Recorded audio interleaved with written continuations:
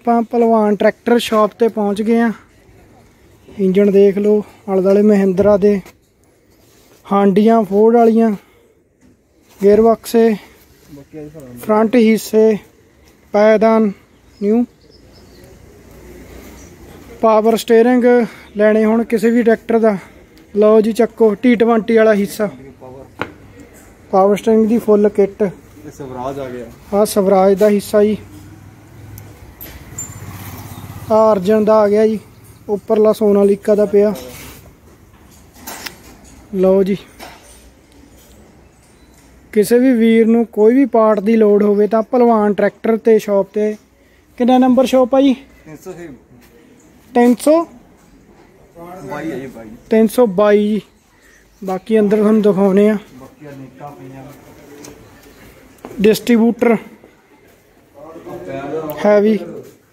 ਚੁੱਲ੍ਹੇ। T20 T20 ਵਾਲੇ। ਪੈਦਾਨ ਜੀ ਪਾਵਰ ਸਟੀਅਰਿੰਗ ਜੈਕ ਚੈੱਕ ਕਰ ਲਓ। ਨਵੇਂ ਫਰੈਸ਼ ਜੈਕ ਨੇ ਟਰੈਕਟਰਾਂ ਦੇ।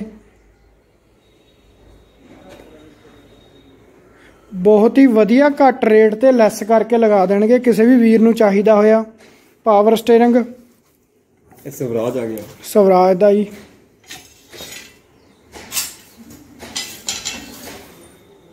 ਵੀਰ ਆਪ ਕਿੱਥੇ ਨੇ ਅੱਜ? ਬਾਹਰ ਗਏ ਜੀ ਅੱਜ। ਬਾਹਰ ਗਏ ਹੋਏ ਨੇ? ਉਹ ਸੋਨਾਲੀਕਾ ਦਾ ਹਿੱਸਾ ਪਿਆ ਉਹ ਦਿਖਾਈ ਯਾਰ।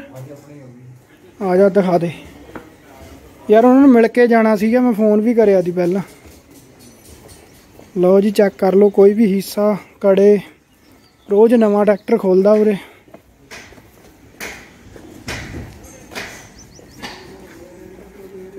ਇੱਧਰ ਸਾਹਮਣੇ ਖੜਾ ਆਪਣਾ ਆ ਨਿਊ ਹਾਲੈਂਡ ਖੜਾ 3600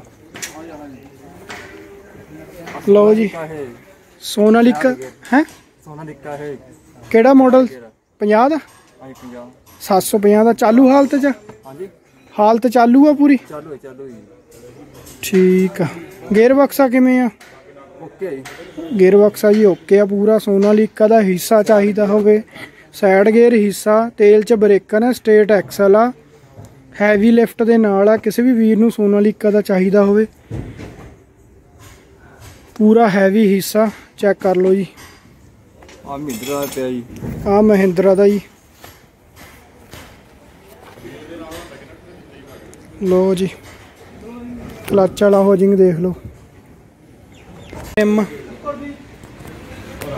ਆ ਫੋਰਡ ਦੀਆਂ ਬ੍ਰੇਕਾਂ। ਆ ਮੈਸੀ ਵਾਲੇ ਬ੍ਰੇਕ। ਹਾਂਡੀਆਂ ਪਈਆਂ ਨੇ ਆਪਣੀਆਂ। ਇੱਕ ਫਾਰਮ ਟਰੈਕ 60 ਖੜਾ ਜੌਂਡੀਅਰ ਖੜਾ 50 38 ਆ ਨਿਊ ਹਾਲੈਂਡ ਖੋਲਿਆ ਹੋਇਆ। ਆ ਇੰਜਨ ਵੀ ਨਿਊ ਹਾਲੈਂਡ ਦਾ ਲੱਗਦਾ, ਹਾਂ ਸੈਮਸੰਗ ਇੰਜਨ ਆ। ਆ ਸਵਰਾਜ ਦਾ ਖੜਾ ਇੰਜਨ 855 ਚ ਜਿਹੜਾ ਆਉਂਦਾ, ਕਲੋਸਕਰ ਦਾ ਇੰਜਨ ਲੋ ਜੀ। ਉਹ ਸੋਨਾਲੀਕਾ, ਤਿੰਨ ਸਿਲੰਡਰ ਚ। ਆਪਣਾ ਅਰਜਨ ਆ ਸੋਨਾਲੀਕਾ ਦਾ ਗੇਅਰ ਬਾਕਸ ਆ। ਇਹਦੀਆਂ ਬ੍ਰੇਕਾਂ ਤਾਂ ਖੋਲੀਆਂ ਹੋਈਆਂ ਨੇ ਐਕਸਲ ਵੀ ਖੋਲੇ ਹੋਏ ਨੇ। ਜੇ ਲੋਡ ਹੋਵੇ ਆਪਣੀ ਆ ਸ਼ਾਪ ਤੇ ਆ ਕੇ ਤੁਸੀਂ ਇਹਨਾਂ ਨੰਬਰਾਂ ਤੇ ਕਾਲ ਕਰਕੇ ਕੋਈ ਵੀ ਸਮਾਨ ਬਾਰੇ ਜਾਣਕਾਰੀ ਲੈ ਸਕਦੇ ਹੋ। ਆ ਹਿੱਸਾ ਦੇਖ ਲਓ।